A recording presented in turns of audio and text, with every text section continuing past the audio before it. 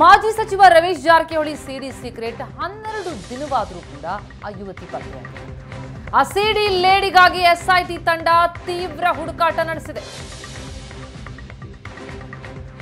ಹನ್ನೆರಡು ದಿನವಾಯ್ತು. ಹೀಗಿದ್ದು ಆ ಸಿಡಿಯಲ್ಲಿರುವಂತಹ ಯುವತಿ ಇನ್ನೂ ಪತ್ತೆಯಾಗಿಲ್ಲ. ಸಿಡಿ ಲೇಡಿಗಾಗಿ ಎಸ್ಐಟಿ ತಂಡದಿಂದ ತೀವ್ರ ಹುಡುಕಾಟ. ಸಿಡಿಯಲ್ಲಿರುವಂತಹ ಲೇಡಿ ಹಾಗೂ ಮೂವರು ಆರೋಪಿಗಳಿಗೆ ನಿರಂತರ ಹುಡುಕಾಟ ನಡೆದಿದೆ. ತನ್ನ ಮೊಬೈಲ್ ಸ್ವಿಚ್ ಆಫ್ ಮಾಡಿಕೊಂಡಿದ್ದಾರೆ ಆ ಲೇಡಿ. ಬೆಂಗಳೂರಲ್ಲಿ ಕೊನೆಗೊಂಡಂತಹ ಯುವತಿಯ ಮೊಬೈಲ್ ಲೊಕೇಶನ್. ಆಕೆಯ ಕೊನೆ ಲೊಕೇಶನ್ ಬೆಂಗಳೂರಲ್ಲೇ ಪತ್ತೆಯಾಗಿರುವಂತಹ ಶಂಕೆ ಇದೆ. ಮೊನ್ನೆಯೇ ಯುವತಿ ಮನೆ ಹಾಗೂ ಸಂಬಂಧಿಕರಿಗೆ ನೋಟಿಸ್ ಕೊಡಲಾಗಿದೆ. ಸುವರ್ಣ ನ್ಯೂಸ್ಗೆ ಎಸ್ಐಟಿ ಉನ್ನತ ಮೂಲಗಳ ಮಾಹಿತಿ. ಹನ್ನೆರಡು ದಿನವಾದರೂ ಸೀರಿಯಲ್ಲಿರುವಂತಹ ಯುವತಿ ಪತ್ತೆಯಾಗಿಲ್ಲ. ಎಸ್ಐಟಿ ತಂಡ ತೀವ್ರ ಹುಡುಕಾಟ ನಡೆಸಿದೆ. ಆ ಲೇಡಿಗಾಗಿ ಜೊತೆಗೆ ಮೂವರು ಆರೋಪಿಗಳಿಗಾಗಿ ನಿರಂತರ ಹುಡುಕಾಟ. ಮೊನ್ನೆಯೇ ಯುವತಿಯ ಮನೆ ಹಾಗೂ ಸಂಬಂಧಿಕರಿಗೆ ನೋಟಿಸ್. ಎಸ್ಐಟಿ ಉನ್ನತ ಮೂಲಗಳಿಂದ ಏಷ್ಯಾನೆಟ್ ಸುವರ್ಣ ನ್ಯೂಸ್ಗೆ ಸಿಕ್ಕಂತಹ ಮಾಹಿತಿ ಇದು. ಆ ಲೇಡಿಯ ಕೊನೆ ಲೊಕೇಶನ್ ಬೆಂಗಳೂರಲ್ಲೇ ಪತ್ತೆಯಾಗಿರುವ ಶಂಕೆ. ಹಾಗಿದ್ರೆ ಎಲ್ಲಿದ್ದಾಳೆ ಆ ಸಿಡಿ ಲೇಡಿ? ಇನ್ನು ಕೂಡ ಪತ್ತೆಯಾಗಿಲ್ಲ. ನೋಟಿಸ್ ಜಾರಿಯಾಗಿದೆ. ವಿಚಾರಣೆಗೆ ಬರ್ತಾರಾ ಆ ಲೇಡಿ? ಮೊಬೈಲ್ ಸ್ವಿಚ್ ಆಫ್ ಮಾಡ್ಕೊಂಡಿದ್ದಾರೆ ಆ ಲೇಡಿ. ಜೊತೆಗೆ ಮೂವರು ಆರೋಪಿಗಳಿಗೂ ಕೂಡ ನಿರಂತರವಾದಂತಹ ಹುಡುಕಾಟ ನಡೆದಿದೆ.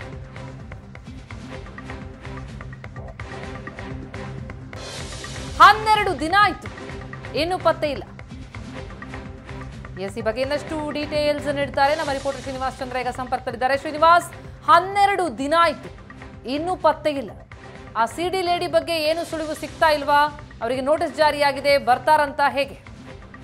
ಪ್ರತಿಮಾ, ಇವತ್ತು ಏನು ವಿಚಾರಣೆಗೆ ಹಾಜರಾಗಬೇಕು ಅಂತೇಳಿ ಎಸ್ ಟಿ ಅಧಿಕಾರಿಗಳು ಆ ಯುವತಿಯ ಮನೆಗೆ ಒಂದು ನೋಟಿಸ್ ಪತ್ರವನ್ನು ಅಂಟಿಕೊಂಡಿರುವಂತದ್ದು ಜೊತೆಗೆ ಮೇಲ್ ಮುಖಾಂತರ ಕೂಡ ಯುವತಿ ಮೇಲ್ ಐಡಿಗೆ ಒಂದು ನೋಟಿಸ್ ಪತ್ರವನ್ನು ರವಾನೆ ಮಾಡಿರುವಂತದ್ದು ಅಂದ್ರೆ ಇವತ್ತು ವಿಚಾರಣೆಗೆ ಹಾಜರಾಗುವಂತ ಸಾಧ್ಯತೆಗಳು ಕೂಡ ಇರುವಂತದ್ದು ಆದ್ರೆ ಯುವತಿ ಬರ್ತಾಳ ಇಲ್ವಾ ಅನ್ನೋದು ಕೂಡ ಇನ್ನು ಕೂಡ ಎಸ್ ಅಧಿಕಾರಿಗಳಿಗೆ ಇನ್ನು ಕನ್ಫರ್ಮೇಶನ್ ಆಗಿಲ್ಲ. ಒಂದು ಕಡೆ ಈಗಾಗಲೇ ಕೂಡ ಏನು ಹನ್ನೆರಡು, ಹದಿಮೂರು ದಿನ ಆಯ್ತು ಯುವತಿ ಅಂದ್ರೆ ಈ ಒಂದು ಕೇಸ್ ದಾಖಲಾಗಿ ಈ ಒಂದು ಈ ಒಂದು ಪ್ರಕರಣ ಬೆಳಕಿಗೆ ಬಂದು, ಆ ಹಿನ್ನೆಲೆಯಲ್ಲಿ ಇವತ್ತಿನೂ ಕೂಡ ಪತ್ತೆ ಮಾಡುವಂತ ಕೆಲಸವನ್ನು ಎಸ್ ಐಟಿ ಅಧಿಕಾರಿಗಳು ಮಾಡ್ತಾ ಇರುವಂತದ್ದು ಈಗಾಗಲೇ ಕೂಡ ಗೋವಾ ಇರ್ಬೋದು, ಹಾಗೆ ಬಿಜಾಪುರ ಇರ್ಬೋದು ತಮಿಳುನಾಡು ತಮಿಳ್ನಾಡು ಕೇರಳ ಈ ಭಾಗದಲ್ಲಿ ಯುವತಿಯನ್ನ ಹುಡುಕುವಂತ ಪ್ರಯತ್ನ ಕೂಡ ಮಾಡ್ತಿರುವಂತದ್ದು. ಆದ್ರೆ ನಿನ್ನೆ ಹೈದರಾಬಾದ್ನಲ್ಲಿ ಯುವತಿ ಸಿಕ್ಕಿದ್ದಾಳೆ ಅನ್ನೋ ಸುದ್ದಿ ಕೂಡ ಹರಿದಾಡ್ತಾ ಇತ್ತು. ಆದ್ರೆ ಅದನ್ನ ಎಸ್ ಟಿ ಅಧಿಕಾರಿಗಳು ತಳ್ಳ ಹಾಕಿರುವಂತದ್ದು ಅಂದ್ರೆ ಇನ್ನು ಕೂಡ ಯುವತಿಯ ಪತ್ತೆ ಆಗಿಲ್ಲ, ಪತ್ತೆ ಆದ ನಂತರದಲ್ಲಿ ವಿಷಯವನ್ನ ತಿಳಿಸ್ತೀವಿ ಅಂತ ಹೇಳ್ತಿರುವಂತದ್ದು. ಅಂದ್ರೆ ಇದ್ರೂ ಕೂಡ ಯುವತಿಯ ಪತ್ತೆಯನ್ನ ಎಸ್ ಟಿ ಅಧಿಕಾರಿಗಳು ಮಾಡಿಲ್ಲ.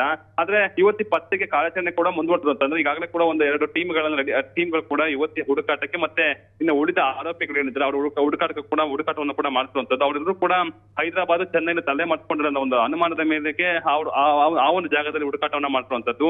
ಒಂದು ಕಡೆ ಇನ್ನೊಂದು ಕಡೆ ಇವತ್ತು ಇವತ್ತು ಖುದ್ದು ತಾನೇ ವಿಚಾರಣೆಗೆ ಹಾಜರಾಗುವಂತ ಸಾಧ್ಯತೆಗಳು ಕೂಡ ಹೆಚ್ಚಾಗಿರುವಂತದ್ದು. ಆದ್ರೆ ಅವಳು ಬರ್ತಾಳೆ ಇಲ್ವಾ ಅನ್ನೋದು ಕೂಡ ಇನ್ನು ಕೂಡ ಕನ್ಫ್ಯೂಷನ್ ಅಲ್ಲೇ ಪೊಲೀಸರು ಕೂಡ ಇರುವಂತದ್ದು.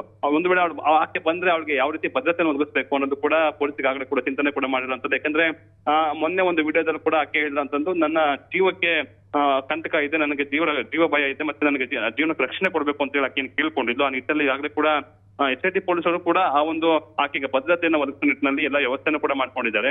ಆಕೆ ವಿಚಾರಣೆಗೆ ಬಂದ್ರು ಕೂಡ ಆಕೆಯನ್ನ ಗೌಪ್ಯಸ್ಥಳದಲ್ಲಿ ಇಟ್ಟು ವಿಚಾರಣೆ ನಡೆಸಿ ಆಕೆ ಹೇಳಿಕೆಯನ್ನ ಪಡ್ಕೊಳ್ಳುವಂತ ತಯಾರಿಯನ್ನು ಕೂಡ ಎಸ್ ಐ ಟಿ ಅಧಿಕಾರಿಗಳು ಮಾಡ್ಕೊಂಡಿರುವಂತದ್ದು.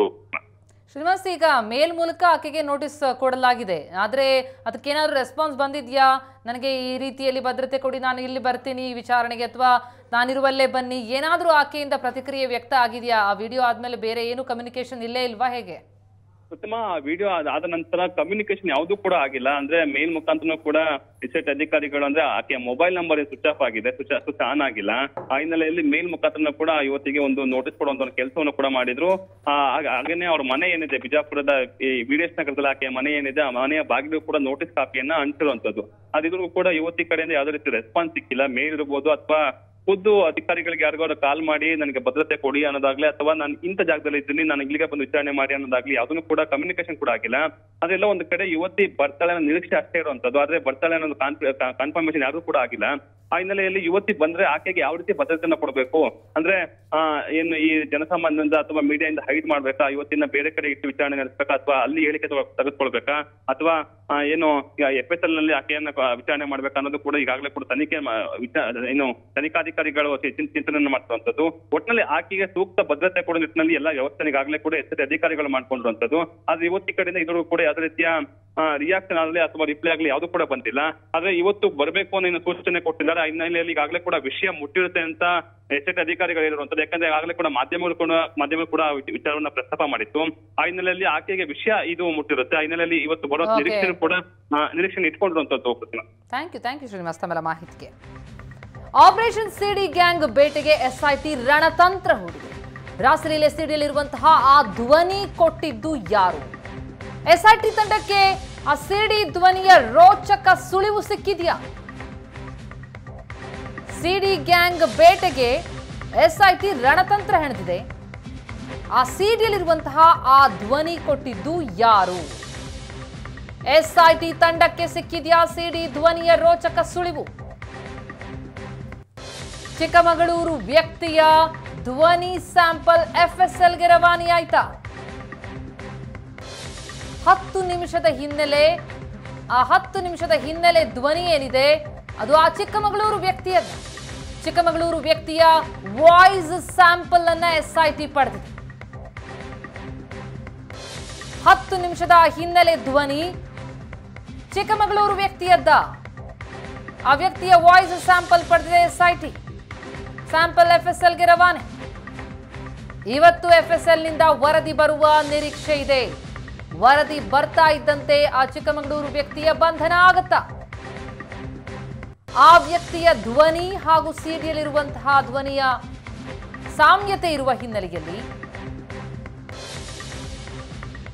ಎಫ್ಎಸ್ಎಲ್ನಿಂದ ವರದಿ ಬರುವಂತಹ ನಿರೀಕ್ಷೆ ಇದೆ ಇವತ್ತು. ವರದಿ ಬರ್ತಾ ಇದ್ದಂತೆ ಸಾಮ್ಯತೆ ಇದ್ದಲ್ಲಿ ಚಿಕ್ಕಮಗಳೂರು ವ್ಯಕ್ತಿಯ ಬಂಧನವಾಗತ್ತಾ. ಎಸ್ ಬಗ್ಗೆ ಇನ್ನಷ್ಟು ಡೀಟೇಲ್ಸ್ ಪಡೆಯೋಣ. ನಮ್ಮ ಪ್ರತಿನಿಧಿ ಶ್ರೀನಿವಾಸ್ ಚಂದ್ರ ಸಂಪರ್ಕದಲ್ಲಿದ್ದಾರೆ. ಶ್ರೀನಿವಾಸ್, ಒಂದು ರೋಚಕ ಸುಳಿವು ಸಿಕ್ಕಂತಿದೆ. ಎಸ್ಐಟಿ ತಂಡಕ್ಕೆ ಆ ಸಿಡಿ ಧ್ವನಿ ಸಿಕ್ಕಿದೆಯಾ ಹಾಗಿದ್ರೆ?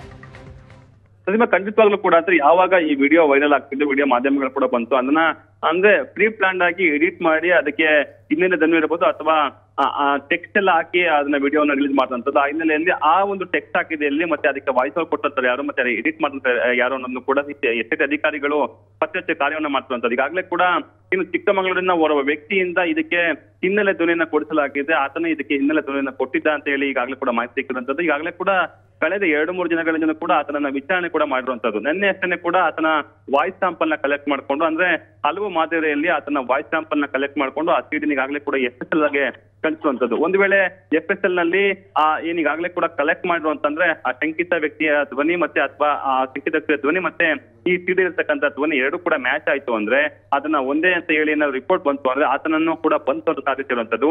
ಅಂದ್ರೆ ಈಗಾಗಲೇ ಕೂಡ ಆತನನ್ನ ಆತನ ಬಂಧನದಿಂದ ಇನ್ನಷ್ಟು ವಿಚಾರಗಳು ಕೂಡ ಬೆಳಕಿಗೆ ಬರುತ್ತೆ ಅಂದ್ರೆ ಈ ಒಂದು ವಾಯ್ಸ್ನ ಕೊಡೋದಕ್ಕೆ ಯಾರು ಹೇಳಿದ್ರು, ಮತ್ತೆ ವಾಯ್ಸ್ನ ಎಲ್ಲಿ ಕೊಟ್ಟಿದ್ದ, ಯಾವ ಹುಡುಗಲ್ಲಿ ಕೊಟ್ಟಿದ್ದ, ಆ ಎಡಿಟಿಂಗ್ ಕೂಡ ಎಲ್ಲ ಆಗಿತ್ತು. ಇದಕ್ಕೆಲ್ಲರೂ ಕೂಡ ಯಾರು ಇವ್ರಿಗೆ ಫಂಡಿಂಗ್ ಮಾಡಿದ್ರು, ಎಲ್ಲವೂ ಕೂಡ ವಿಚಾರಣೆಯಲ್ಲಿ ಬೆಳಕಿಗೆ ಬರುತ್ತೆ.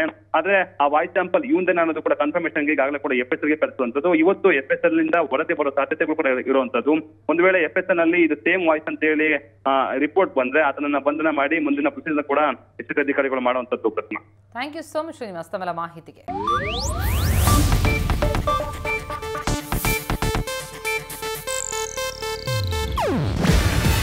ಇದು ಏಷ್ಯಾನೆಟ್ ನ್ಯೂಸ್ ನೆಟ್ವರ್ಕ್ ಪ್ರಸ್ತುತಿ. ನೀವು ನೋಡ್ತಿದ್ದೀರಾ ಏಷ್ಯಾ ನೆಟ್ ಸುವರ್ಣ ನ್ಯೂಸ್.